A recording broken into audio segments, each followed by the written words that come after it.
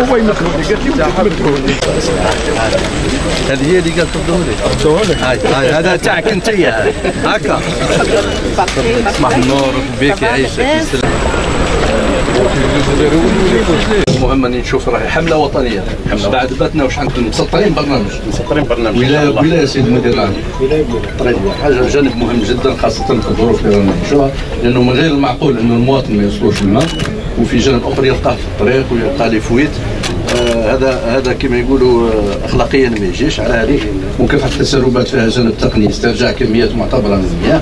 ثانيا فيها جانب معنوي أنه ما يشوفش المواطن في الروبيني ما عندوش وكي يخرج لبرا يبقى معمر بالفلوس donc نثمنوا الشيء هذا سيد المدير العام ونطلبوا منك انه توصلوا في كامل الولايات حسب سلم الأولويات.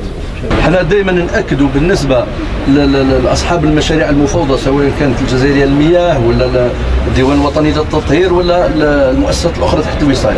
ونقولوا لهم دائما تكفلوا بالطلبات وبال لا لا لا لا لا les situations تسديد ال- المستحقات نتاع les entreprises لكن في جانب آخر ما نتسامحش معاه في la réalisation ما نتسامحش معاه في الأجال ما نتسامحش معاه في la qualité لازم تكون الإنجاز يكون طبقا للمواصفه تاع الدولة راهي تضخ في أموال كبيرة ومن بعد نلقاو المشاريع ناقصة وما نلقاوهاش تعمل بالطاقة النظرية تاعها. شيء غير مقبول مقبول غير مقبول تماما.